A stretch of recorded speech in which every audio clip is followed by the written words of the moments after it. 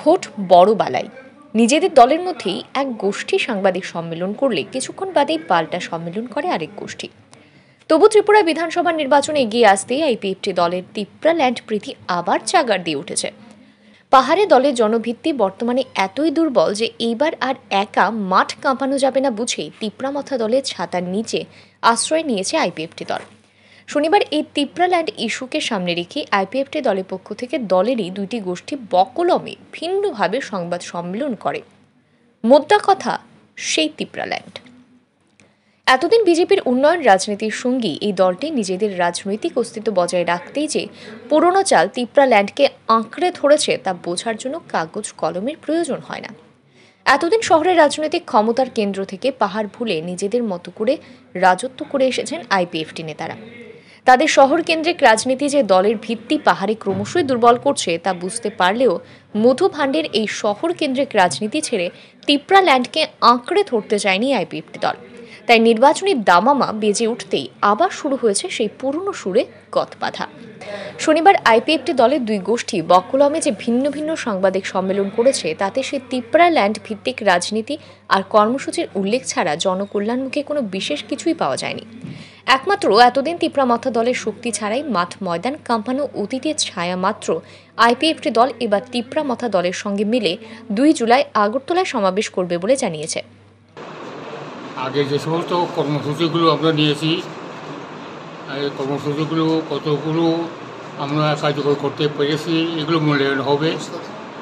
আর বিশেষ করে আমাদের তেইশে অগস্ট ত্রিপুরাল্যান্ড দাবি দিবস পালন প্রতি বছর আমরা করি। এবারে দিল্লি অভিযানের মাধ্যমে আমাদের পার্টি থেকে দিল্লিতে তেইশে অগস্ট ত্রিপুরাল্যান্ড দাবি দিবস পালন করা হবে। এটা আগেই সিদ্ধান্ত আমরা নিয়েছি এবং এটাও কার্যকর করার ক্ষেত্রে অগ্রগতিগুলো আজকে আলোচনা করব। আগামী দুই তারিখ জুলাই, রোজ শনিবার। ওখানে আমাদের যে বর্তমানে যে আইপিএফটি পার্টি এই পার্টির সাথে আমাদের যে তিপ্রা মঠা, যে মহারাজ পদ্ম কিশোর, সেটা আমাদের একটা মাস হবে। তো এখানে আমরা এই আগরলাতে একটা প্রোগ্রাম করার সিদ্ধান্ত আজকে আলোচনা হয়েছে। তো সমস্ত আমাদের আইপিএফটি চৌত্রিশটা ডিভিশন থেকে, যাহারা এখন বর্তমান যে রাজনৈতিক যে পরিস্থিতি, যে থাংসা যারা সেটাকে অভিনন্দন জানাবে, তাদেরকে আমি ভাইস প্রেসিডেন্ট আহ্বান করব। সারা ত্রিপুরা রাজ্য থেকে আসার জন্য। আমাদের আইপিএফটি বিশেষ করে বিভিন্ন সংগঠন ইউনিট আছে। এখানে বিশেষ করে আইপিএফটি প্যারেন্টস বডি ইউড আইপিএফটি আর্টিসা এরপরে অন্যান্য আমাদের আইডাব্লিউএফটি নেতৃবর্গ। আমি সকলকে আজকে পার্টি আইপিএফটি কেন্দ্র কমিটির সহসভাপতি হিসাবে সকলকে আবেদন করব আগামী দুই তারিখে। আজকে আমাদের যে লাস্ট ফাইভ যে আগামী দুই হাজার তেইশে যে লাস্ট ফাইভ ওইখানে অংশগ্রহণ করবার জন্য। তো আমাদের আইপিএফটি এবং টিপ্রামথা একটা দাবি নিয়ে আজকে আমাদের ত্রিপুরাজ্যে আমরা সংগ্রাম করেছি। বিশেষ করে গ্রেটার ত্রিপুরাল্যান্ড ত্রিপুরাল্যান্ড বিজেপি দল বরাবরই জনজাতির উন্নয়নে বৃহত্তর ঐক্যের পক্ষে সওয়াল করে এসেছে এবং রাজ্যে ক্ষমতায় আসার পর জনজাতি উন্নয়নে বিপুল পরিমাণ অর্থরাশি বরাদ্দ করা ছাড়াও বহুমুখী জনজাতি উন্নয়ন প্রকল্পকে সামনে রেখে শিক্ষা থেকে স্বাস্থ্য ও কর্মসংস্থানকে ব্যাপক প্রাধান্য দিয়ে প্রধানমন্ত্রী নরেন্দ্র মোদীর মার্গদর্শনে নিরন্তর কাজ করে চলেছে রাজ্যে। বস্তুত রাজ্যে বিজেপি সরকার প্রতিষ্ঠার পর জনজাতি উন্নয়নে যেভাবে ব্যাপকভাবে বিভিন্ন লক্ষ্যকে সামনে রেখে কাজ হয়েছে, বিগত বাম আমলে এসব ছিল শুধুই স্বপ্ন।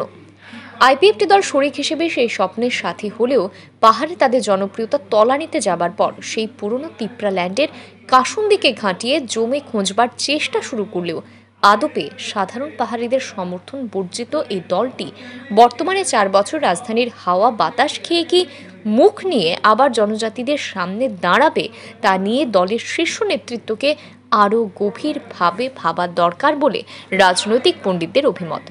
অন্যদিকে তাৎপর্যপূর্ণভাবে বিজেপি দলের ডাকা সংবাদ সম্মেলনে শনিবার আইপিএফটি দলের এই দ্বিমুখী রাজনীতি নিয়ে দারুণভাবে জবাব দিয়েছেন সাংসদ রেবতী ত্রিপুরা। তাদের দুটা দলেরই দাবি একই তো যারা যে দল পরিবর্তন করছেন, তারাই বলুন আইপিএফটি দ্বারা গ্রেটার ত্রিপুরাল্যান্ড হবে না ত্রিপুরাল্যান্ড হবে না, বা মাথার দ্বারা রেখা ত্রিপুরায়ণ হবে না, তারাই।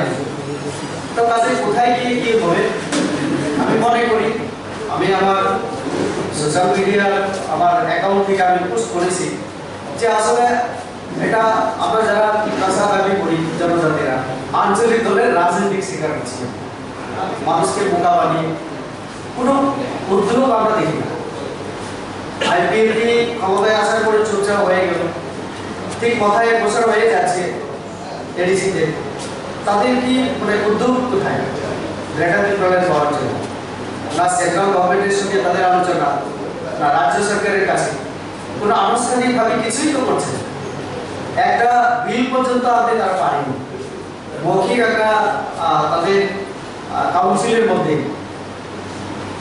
তারা বলেছে, তাদের ত্রিপুরা লেন চায় তো এইভাবে তো হবে না।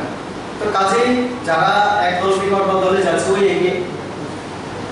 মানে কি হবে, তারাই বলতে সাংসদ জানিয়েছেন, আঞ্চলিক দলগুলির চরিত্র এরকম সুবিধাবাদী রাজনীতিকে কেন্দ্র করেই আবর্তিত হয়। ব্যুরো রিপোর্ট, রাইজেস্ট নিউজ।